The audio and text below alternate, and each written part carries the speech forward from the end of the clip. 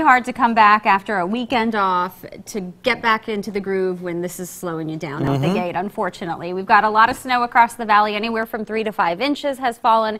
Thankfully, the accumulating snow is shifting eastward and out of here. Maybe a few flurries here or very light snow showers uh, linger in Clinton County. The rest of us have dried out.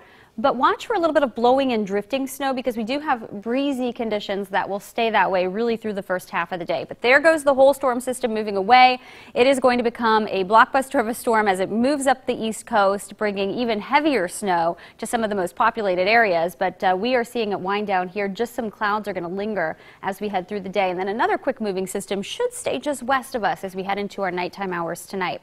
Our snowfall totals in from Bellefontaine tops the list here at five inches there. Wapakoneta four inches. We had about three and a half in Piqua, a little less than that in Urbana and close to three inches in Dayton and Springfield, Eaton right around two inches. So a decent snow and enough certainly to get things off a little bit slower this morning. It's 18 degrees right now, mostly cloudy.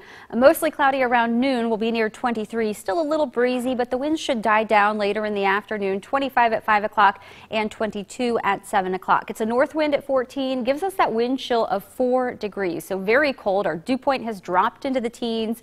It's a whole new air mass from what we were dealing with over the weekend. And lot of teens are popping up around the Miami Valley. In Arcanum at 17, it's 17 in Piqua. 18 degrees in Urbana and in Tremont City. There's our area of low pressure moving away from us. Uh, so back behind it, we've got the wind shift. It's a northerly flow.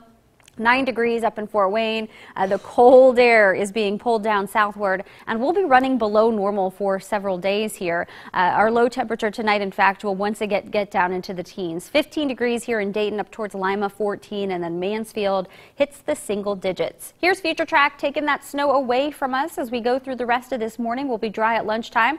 And 5 o'clock looks uh, mostly cloudy, but still very quiet across the area.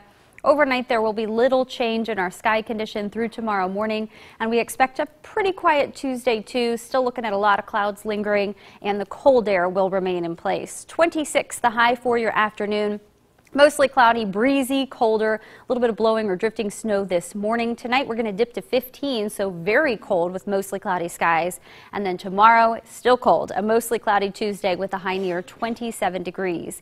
Your Storm Team 2 seven day forecast. Wednesday we start off in the teens again, but we should climb to 32 with some sunshine in the afternoon.